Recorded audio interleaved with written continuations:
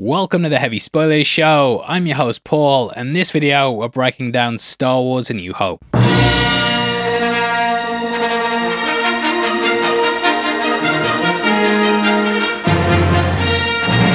Taking us to a long time ago in a galaxy far, far away, this film revolutionized the movie industry and it still stands as one of the best sci fi movies of all time. This was a film that I fell in love with as a kid, and I can't even count how many times I've watched it. Must have burned through those golden special edition VHSs so many times, and yeah, I'm so happy to talk about it again. Throughout this video, yeah, we're going to be going back through all that, breaking it all down, and talking about it scene by scene to go over all the details in it. According to the legends, George Lucas came up with the idea after he made his first full length feature film titled THX 1138. Lucas had been a big fan of the Flash Gordon serials, and he'd actually been planning to adapt them in some form or another. Apparently, at the 1971 Cannes Film Festival, when he was showing THX, he started putting feelers out to see if he could buy the rights for Flash. However, they were owned by Dino De Laurentiis, and thus Lucas decided to do his own space opera. Returning home from the festival, Francis Ford Coppola recalled him being very depressed he couldn't get the rights, so in the end he said, Well, I'll just invent my own. Great impression there, and pouring through John Carter of Mars, Gulliver on Mars in Dune, the ideas started to form in his head that would lead to what we got. Spending 8 hours a day, 5 days a week, he steamrolled through the ideas and found that the world building wasn't just something you could dive right into.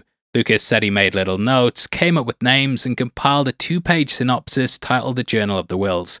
The Whills themselves were thought of as being spiritual and religious beings who recorded ancient tales and told them in the form of stories. This is why we started with a long time ago in a galaxy far, far away, because it was meant to evoke the idea this is an ancient story being told to us. The Guardians of the Whills, of course, appeared in Rogue One, and they've become something that's connected to the greater legends. Telling the tale of an apprentice known as CJ Thape, this Jedi Bendu and his space commander Mace Windu would be who the story centered around. Now, you probably sort of recognize that last name there, and though a lot of the names Lucas came up with didn't make it to the first script, he did end up including them in the later movies. The Jedi name itself came from the Samurai Jidaigeki, and these knights would follow an honor system like the Jedi. Realizing that this original Whill story was too difficult to follow, he then started again from the ground up with the Star Wars. Sharing elements of Kurosawa's The Hidden Fortress, George put together a 13 page outline and then shopped it around. The Hidden Fortress actually gets a little nod in the film, with us getting this line from General Motti. Your sad devotion to that ancient religion has not helped you conjure up the stolen data tapes, or given you clairvoyance enough to find the rebels' hidden fortress. C3PO and R2D2 are also based off the bickering peasants, with the Imperial and Rebel logos also resembling Japanese crests. Originally, R2 could actually speak English, with him constantly cursing, and according to IMDb trivia, though his speech was removed, they kept C3PO's reactions to him. I've just about had enough of you. Now, Lucas unfortunately faced another knockback when United Artists declined the treatment. They said the budget was too big, and this was something the other studios shared as well. Lucas shopped the script to Paramount and Universal, with both thinking that it was way too ambitious. I find your lack of faith disturbing. Disney turned it down too, which cost them a couple billion decades later, but in the end, 20th Century Fox picked up the project. Lucas was given $150,000 to write and direct, which, looking back, is absolutely crazy. No one had faith in it, but this actually proved to be good for him because it allowed him to negotiate lots of things surrounding it.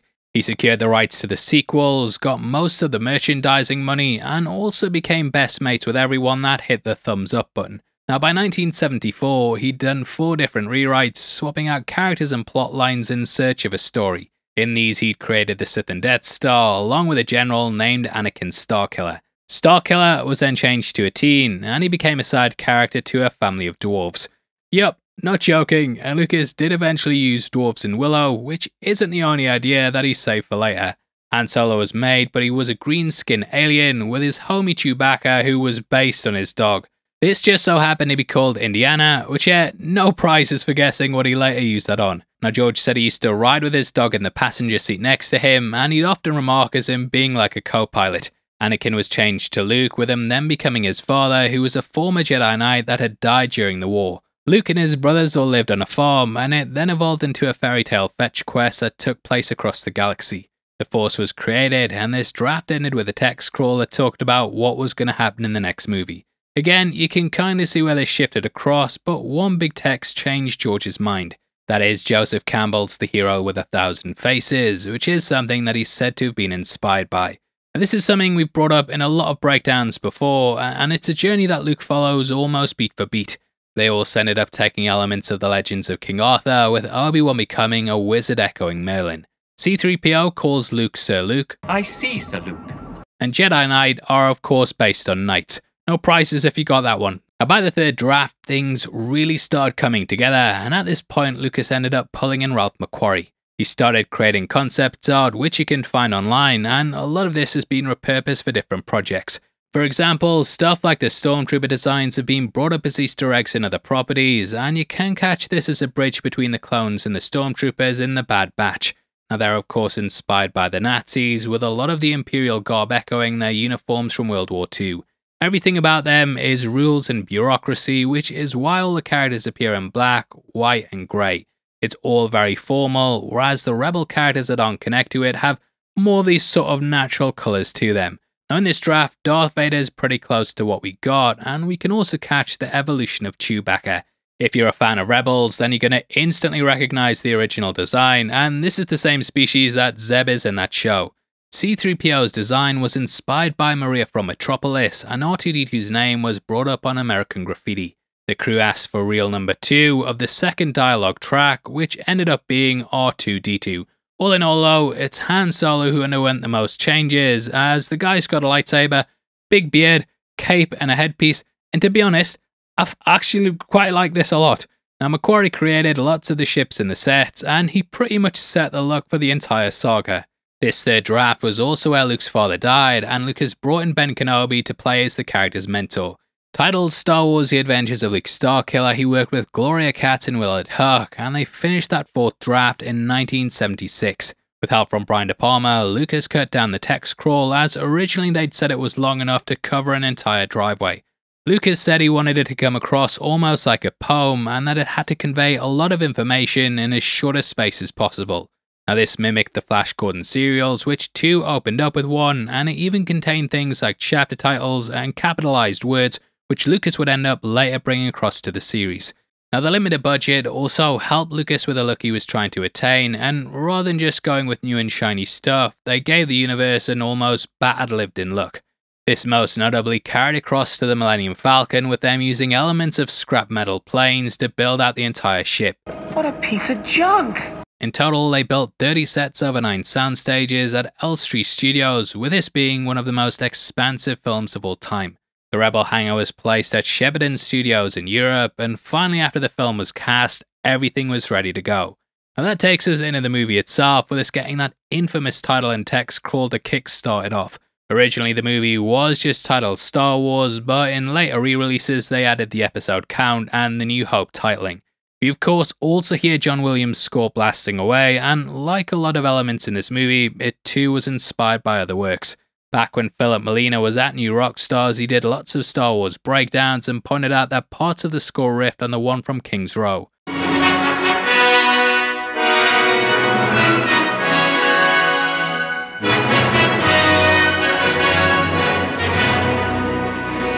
Now from here we cut to space above the planet Tatooine and watch as the Tantive 4 desperately races across the galaxy. Looking minuscule and unimposing, it's completely dwarfed by the Star Destroyer which comes in and engulfs the entire top half of the screen. In just this moment alone, we instantly get the David and Goliath stakes here, with the tiny rebel ship appearing minuscule compared to what's chasing it. The Tantive comes into the shot and disappears in the horizon in what I counted as roughly 2 seconds. Juxtaposing this, the Star Destroyer eats up the whole frame for a total of 11 seconds before we finally get to the point where we actually see its engines. That's an incredible time difference and it shows Lucas's ingenuity when it comes to framing the two sides. We're immediately aware of how expansive and far reaching the Empire's grasp is, and its tooth shaped ship feels almost like the mouth of a shark closing around its prey. In the end, we can't even see the Tantive because it completely covers it up and lets us know these guys stand no chance. Now from here, we get a front facing view of it and watch as it gets battered. It tries to fire back, but this doesn't do any damage, whereas in the next shot we see as it's almost torn apart by one of the destroyer's blaster bolts. On the top we can see a rectangular satellite, and this design would later be brought across to the Millennium Falcon in the sequel trilogy. Both are Corellian craft, so that makes sense, especially with a Falcon containing lots of used parts. Also, I will reference some of the stuff in the later movies just to show how later things were recycled because I'll probably never cover those films in depth, if I'm being honest. I'm not a massive fan of them, but I think I'd be remiss to not point out where certain lines and elements reappeared. And that's actually important to bear in mind as well, because C3PO's first line in the saga also ended up being his last line in Rise of Skywalker.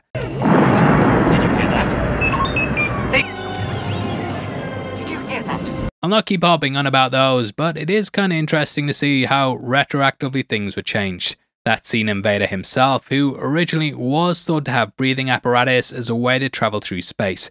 This was of course later changed to be due to injuries, with him becoming Luke's father. Originally, Lucas actually wanted Orson Welles to provide Vader's voice, but he did feel like it might be too recognisable. Thus, he settled with James Earl Jones, who was lesser known at the time, and David Prowse provided the physical performance and vocal work on set.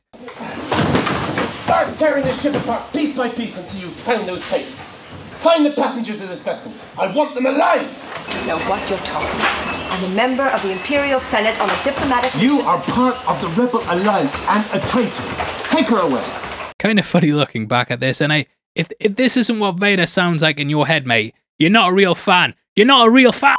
Now, unfortunately, as much as I love joking about this, Prowse got really fucked over. The bodybuilder learned every line only to be told that his voice had been edited out. He brought so much to the role and was promised to actually get to show his face at some point down the line. However, come the end of Return of the Jedi, even that was taken away from him. Replaced by Sebastian Shaw, Prowse never got to show his face, and it is kind of a sore point for me when I look back at this role. I'm sure they did something recently where they, ch- Channel 4 or something, they reshot the ending and had him in the costume for a sort of what if thing, but Unfortunately, I couldn't find it online. Still though, he was brilliant and I don't think Vader would have worked half as well without his physicality. Now C-3PO was also supposed to sound different too, with him being more along the lines of a used car salesman. Daniels performing the lines on set though was what won Lucas around and his snooty British butler portrayals shaped the character going forward. Now in hindsight, we know from Rogue One how Princess Leia got the plans and they based this guy around the person Vader strangles here. They also brought over his red eyes for that movie and a little part of the costume that you might not have noticed before. Here we can see that he actually has a sash over his shoulder piece, which too appears in that film. As for Carrie Fisher's costume, she wasn't allowed to wear underwear because you'd be able to see through her clothes and notice that she was wearing a bra and stuff. Carrie joked that she guessed there was no underwear in space, which Lucas then retorted by giving her a bikini in Return of the Jedi. Now you might also notice that C3PO has a silver leg and I did some research on exactly why this was. I discovered that when Anthony Daniels wore the costume for the first time that one of the leg pieces shattered and the plastic actually stabbed him in the foot. I don't think this is a replacement though, as the, the rumours say that was a left leg piece and it might have just been a design choice, but yeah, if you know, yeah, let me know. Later on in the canon, they'd state a bomb was placed into it, but the leg wasn't dipped in gold paint, but yeah, you know what? The comments section, it's perfect for stuff like this. Now, C3PO talks about the spice mines of Kessel. What are we going to do? We'll be sent to the spice mines of Kessel or smashed into who knows what. And as mentioned earlier, Lucas took elements of Dune, including spice, which is a hypnotic drug mined from Arrakis. Tatooine is based on that planet, and the voice was brought over to the Force, where Obi-Wan can Jedi mind trick stormtroopers, just like how Paul can convince people to do stuff. Moisture farming is of course a big part of Dune as well, and that's of course what Luke and his family do on their farm. Now the spice mines appeared in Solo a Star Wars story, and it's here that we saw more of the Wookiee slaves. Later on, when Luke tries to put the handcuffs on Chewbacca, he seems genuinely angry, even though he isn't on the plan. Now we know about them being enslaved, and people have theorized that's why he was angry, but yeah, whether that's the case or not is completely up to you. Interestingly, we were originally going to cut to Tatooine during this and get introduced to Luke watching the battle overhead. This scene introduced Biggs, who would later appear on Yavin, and he also inceptioned Luke with his plans of joining the rebellion. Now, this took place at Tosche Station, which later appeared in the book of Boba Fett. During episode 2, we saw the couple Camie and Laser, who were brought across from this deleted scene. The Tatooine scenes were also shot in Tunisia, with Tataouine being a real place that inspired the planet's name. Anyway, Leia gives over the plans and she's eventually stunned and taken in. Watching her peer around the corner, blaster raised high, is such an iconic shot and it instantly lets you know everything you need to know about the character. I also love how Lucas had the foresight to change what the blaster bolts for this look like, and it's really clever how the stun blast spreads out almost like a net or like there's some bolas. These are of course used to capture things, and again, it shows how much the imagery Lucas presents does a lot of the heavy lifting. Now 3PO and R2 manage to escape, which is when they crash land right below on the planet. After the pair split up, we can catch the skeleton of a krayt dragon, which has of course appeared in lots of the expanded lore.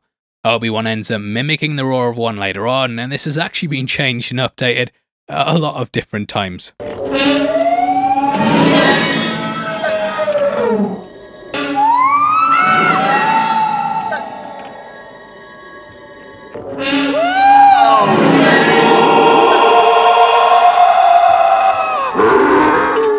Now, apparently, they didn't actually clean up the bones, and you can go and see them out in the desert. Kinda hoping in 1000 years, when people have forgotten about this film, that humans can come across it and just make up some shit about how there actually used to be krayt dragons. Now, this was actually the repurposed skeleton of a Diplodocus, which was a carryover from Disney's One of Our Dinosaurs is Missing. The pair splitting up leads to a cool moment with R2, and they actually reuse the sound of the Jawas here for the Ewoks in Return of the Jedi. Now, the Sandcrawler appears like a hulking giant structure, but this was actually a miniature that was about 2 foot tall. With some creative camera work though, they managed to make it an imposing behemoth, and inside we see several Star Wars droids. This includes an RA-7 protocol droid, which was nicknamed an insect droid or a Death Star droid depending on what you read. Later on, when they're waiting at the lift to go to the prison block, we can catch the same model walking along, showing how this costume was actually repurposed. There's also a periscope droid, and you can catch a Gonk as well. These are basically walking batteries, and they've appeared in a number of films and spin off projects, including The Bad Batch. Now, in the desert, we see stormtroopers riding on dewbacks, with this scene being reshot with added CGI for the 97 special editions. Originally, they didn't have the budget to have them moving about, and lots of the dewbacks in the film were replaced with digital ones, so they had more animation to them.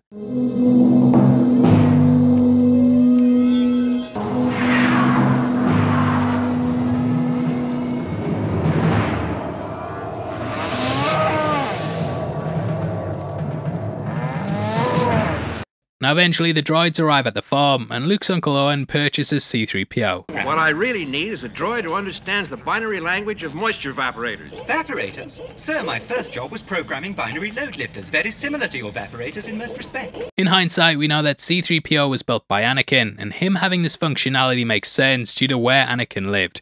We also get this line. But I was going into Tosche Station to pick up some power converters. Which Hamill has said people constantly make fun of him about.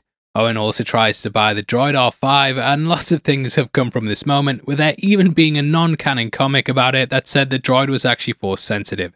Titled Skippy the Jedi Droid, this, this said R5 purposely self sabotaged because it sensed that R2 had to meet with Luke.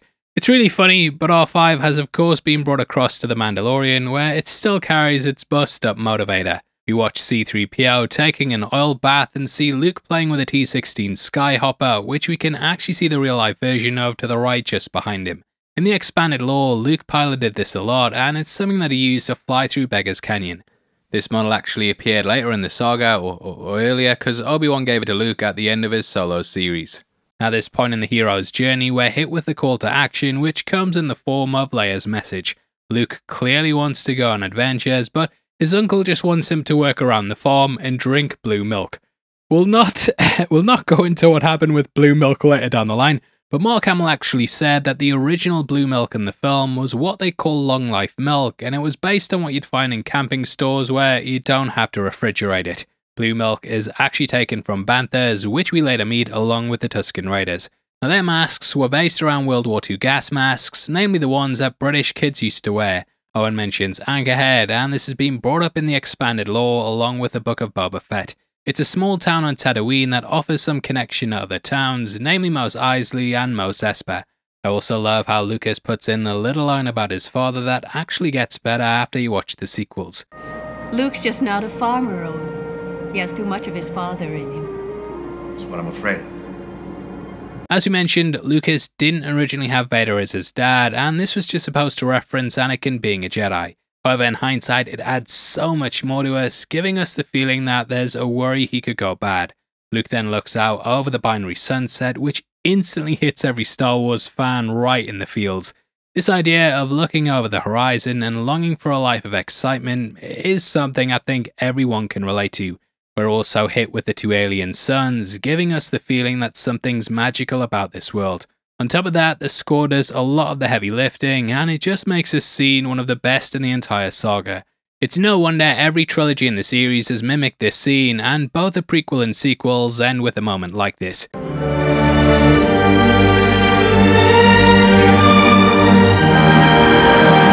Turn it off, mate. I'm get, gonna, gonna cry. Anyway, Luke goes back to C3PO and he finds him standing in the dark next to a V-35 Landspeeder.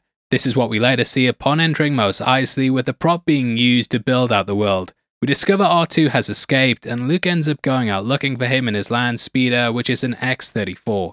Back in the day, they of course couldn't CGI out the wheels, so they used a mirror and then rubbed Vaseline onto the lens to hide it. Eventually, they reached some banthas, and these were actually elephants dressed in bantha guard with fake fur and horns. They obviously weren't used to the heat, and apparently on set they kept pulling this off.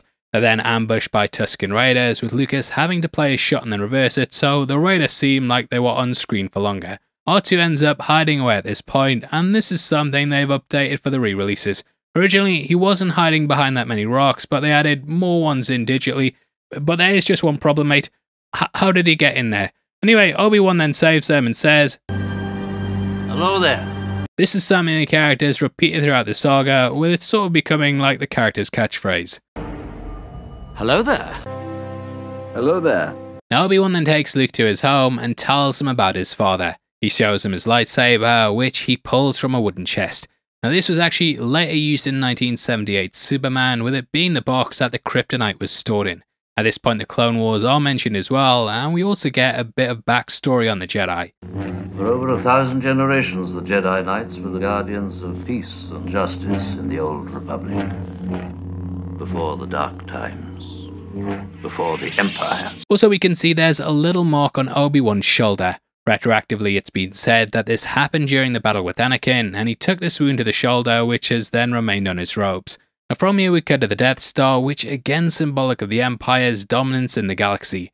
Resembling a mechanical moon, this shows how they've stripped out all life and replaced it with unfeeling machinery. That's very much the case with Darth Vader too, with him no longer being a man and he's more like a machine. Now, bit of behind the scenes trivia that strips away how threatening this all is. Tarkin's boots didn't actually fit, so a lot of these scenes with him were shot from the waist up, with him then wearing slippers. Now, it's kind of wild looking back to Vader knowing what we know now, and they full on just disrespected the man and called his religion stupid. You forget how much of a lackey Vader was in this movie, but eventually he'd be shifted to become the most important character in the franchise. Dressed in white, we can also see Wolf Yularen, who's a big character in the expanded lore. Now, Leslie Schofield is also there as well, who was an actor that appeared in a lot of British stuff, and we also have Cassio Tagge, who's cameoed in a lot of the expanded stories. Anyway, back to the Sandcrawler, Obi-Wan talks about how precise the blaster bolts are, which means it's Imperial, but um, I mean, I don't know, mate. Them stormtroopers, they don't, they don't seem like they could hit the subscribe button on a brilliant breakdown, hey?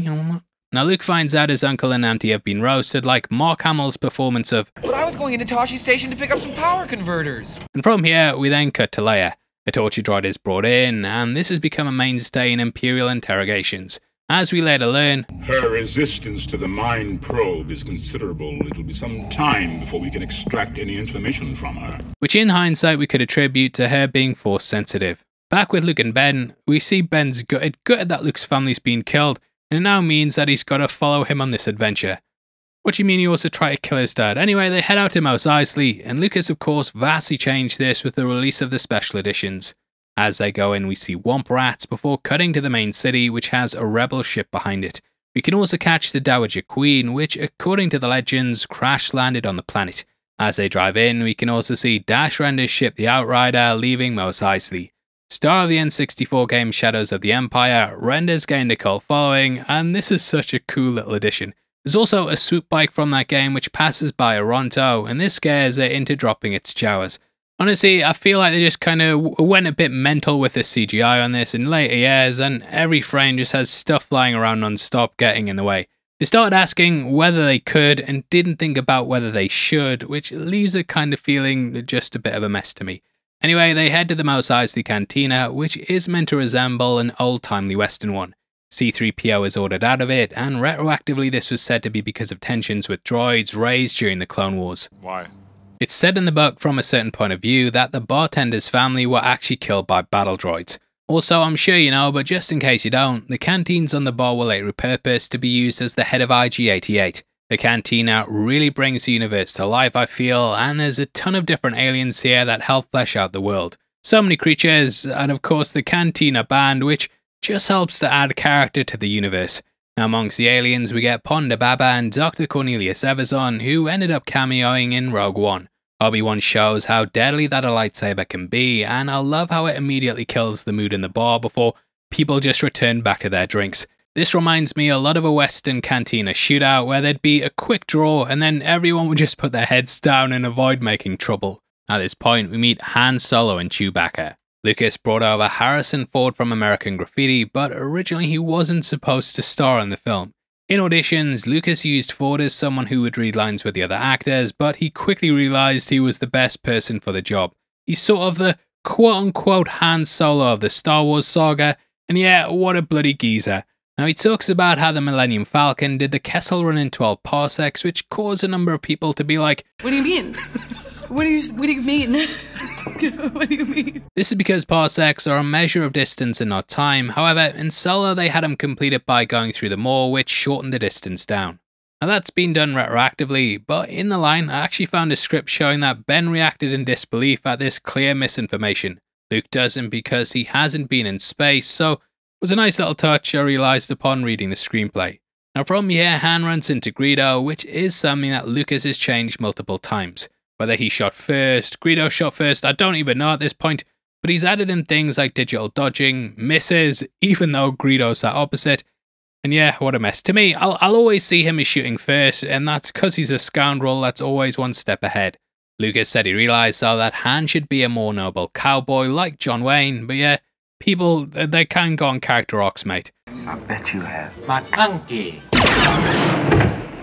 Now, the latest Disney updates added in the line Maclunkey, which was a Maclunkey thing to do, but it's becoming clear that this scene's constantly going to get updated. Now, Greedo actually reappears in the scene with Jabba the Hutt later on, and this too's been updated numerous times throughout the years.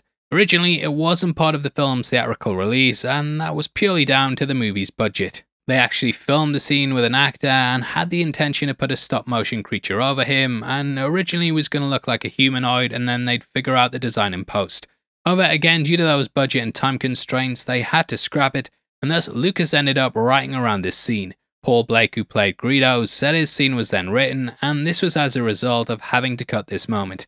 Now, he actually got a deleted scene in The Phantom Menace with a young Greedo that, yeah. Chispa Bokupa Greedo, Inagua Co Crespa Crita. And the Jabba scene also gained the addition of Boba Fett in the 97 release. They had Han step on his tail to solve him walking around the back of Jabba, and uh, this is also something I think they're constantly going to update. You can catch a white droid to the right, and this was reused from the wreckage of the Sandcrawler. Now we can also catch the alien Garindan spying on them, and his voice was actually made up of processed recordings of John Wayne. This actually marks this as being the actor's last appearance in something, and he sadly passed away in 1979. Now later on, as Luke goes into the hangar, we can also see a 94 placed onto the wall. Aurebesh would become a language in Return of the Jedi, but in the original release they just used English.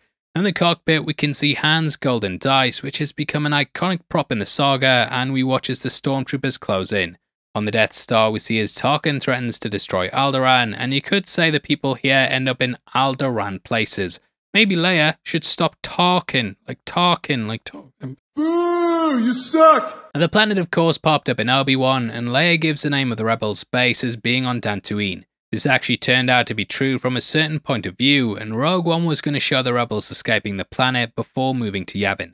Either way, Tarkin still decides to blow it up, and if you slow down the blast hitting the planet, you can actually catch its atmosphere set on fire before the beam hits the body. Cut to Obi-Wan, and we immediately see him grabbing his chest as he senses all the deaths. As a kid, I never really drew the connections to nuclear weapons, but this is happening roughly 30 years after the first atom bomb was dropped. As an adult, I do wonder whether Lucas saw this as an eventual conclusion of warfare, and planetary destruction is the way we're destined to go. Now we also see Luke practicing with his lightsaber against a Marksman H flying remote. These would appear in the sequels and prequels, and they became a pretty standard way for Jedi's to train. We also see the holo chessboard, and originally they wanted two extra pieces on here. However, VFX artist Phil Tippett said it felt too cluttered, so these were removed. In Solo, we see Chewie breaking the table, and these two pieces fall off as a nod to this cut. The chessboard also gets shut off, and in The Force Awakens, they actually pick up from this movie and then finish out the animations. At this point, the ship's pulled into the Death Star, and they have to hide under the floor. Lucas, of course, had Han as a smuggler, so it makes sense these compartments would be part of his ship. Sneaking into the base disguised as stormtroopers, we also see on the back of the uniforms that they have tubes on them. In the original Ralph McQuarrie designs, the guards all had their own lightsabers, which this tube was originally meant to be. Luke later says, I can't see a thing at this helmet. Which is actually improvised by Mark Hamill. It said he couldn't see out the helmet, and in the end, they kept the line in. Obi-Wan eventually ends up leaving them, and we get this line. Well, you said it, Chewie. Where did you dig up that old fossil? In the script, we know this line is him actually saying, the old man's gone mad, and Chewbacca also ends up scaring off a mouse droid which was apparently made up on set on the day. Going to the prison block, they then give the number 1138, which is a callback to Lucas's THX 1138. They also say 2187, which also ended up being Finn's number in The Force Awakens, aka FN 2187. Nice little detail, if we go back to just before Han, Chewie and Luke left the droids, we can see THX 1138 on the screen on the monitor behind them. Now according to the rumours, Harrison Ford actually refused to learn his lines for this part as he wanted the conversation to come off as being spontaneous. But uh, everything's perfectly alright now. We're fine. We're all fine here now. Thank you. How are you? In the trash compactor, we see a Dianoga, which actually ended up becoming a big boss in Shadows of the Empire.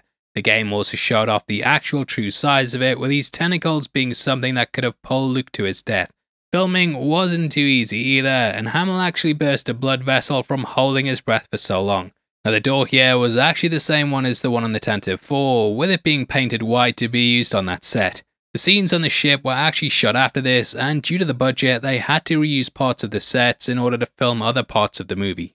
Now, upon escaping, Hamill kept insisting that he should have his hair constantly matted down due to the water, and according to IMDb trivia, Harrison Ford, yeah, Harrison Ford said, Kid, it ain't that kind of movie. If they're looking at your hair, we're all in big trouble. Now, alongside the trash compactor scene, we get a playful little gaff when the stormtroopers finally get to 3PO and R2. I'm sure everyone knows about the stormtrooper banging their head, but originally this wasn't noticed until after its release. In later editions, Lucas actually added a little sound effect on it. Take over. Take over. Take over. It just kills me a bit they added this in. And Lucas later had Jango also bang his head when entering Slave One in Attack of the Clones.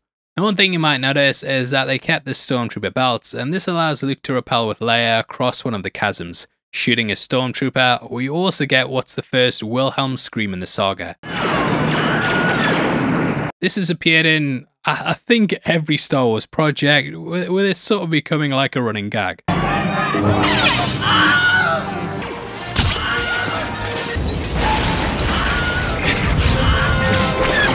Also, this kind of set up the rule of door controls in Star Wars being something you can shoot to lock a door, but if the door's locked and you, you need it to open, you can also shoot it, and, it, and just depending whatever the writer needs at the time, it's going to work like that. Just shoot the panel. Now, Mark Hamill and Carrie Fisher actually performed this stunt for real, with them getting the swing in one take without the need for stunt doubles. Such a cool scene, and it segues perfectly into Obi-Wan versus Vader. This, of course, carries a lot with it, and over the years, it's become one of the most referenced duels in Star Wars. The original version, it was kind of all over the place, with the sword shattering at several points during filming. Also, when they clashed, a weird green light would strike up the recording, and Obi-Wan's blade remained almost white due to the rotoscoping not really being there. Now this is one thing they really cleaned up in the re-releases, with the colouring being added to the blades and the green glow being cut down. Now originally, this was the only meeting between the pair since Obi-Wan beat and mutilated him, however, the Disney Plus series eh, completely retconned all that. Based on samurai fights, this was originally slow, methodical, and deliberate, with all the strikes intended to be killing blows. Now, what I love about its ending is that the last thing Obi Wan sees is Luke and Leia reunited. He glances over and sees them safe before sacrificing himself and letting Vader deal a killing blow so he can become one with the Force. I love how, in hindsight, Obi Wan was there when they were born and he was instrumental in splitting them up to hide them from their father. In the end, he gets to see them back together, and his final act is buying them time to get away from their dad. Again, it's sort of like poetry they rhyme, and from here the group then make a break for it. Now, all the battles in space were inspired by World War II cockpit footage to add this feeling of authenticity to the dogfights. Attacked by TIE fighters, this stands for Twin Ion Engines, which has retroactively been given to it because at the time Lucas called it that because it looked like a bow tie. Vader, of course, has his own one later on, and this was done to help the audience distinguish which one he was in.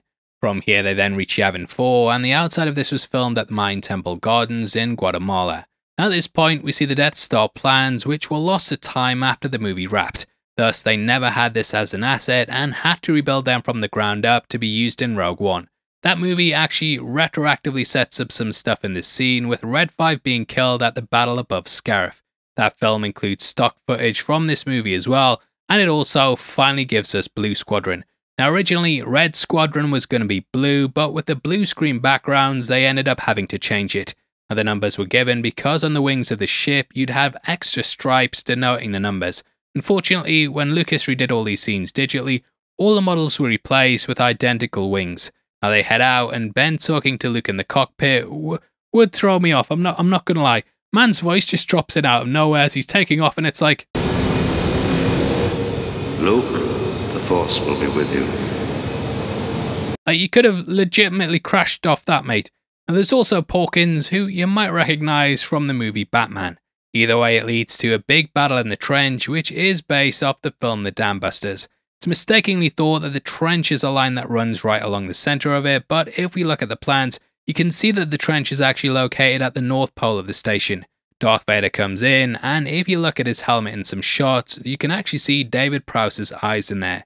Now we are of course also introduced to Wedge Antilles, played by Denis Lawson, and he's actually the uncle of Ewan McGregor.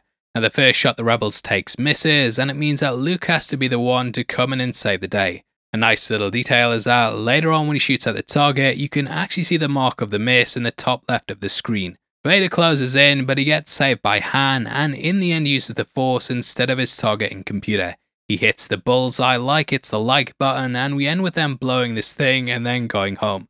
I know it's cliche for Han to come in last minute and save the day, but something about this just hits so hard, and it's one of my favourite moments in the entire saga. There's so many different elements going on here, and it just makes the scene in the sense of alleviation so tense. You've got the Death Star getting in range to fire at the base, R2 gets taken out, Luke turns off his targeting computer, and Vader's on his ass like the neglectful father that he always was. He gets him in his sight, and then Han comes in last minute and just wrecks shop. Have you not? What? Look out! Love the score here as well, and it just drives home the triumph as we see the Death Star explode and Tarkin along with it.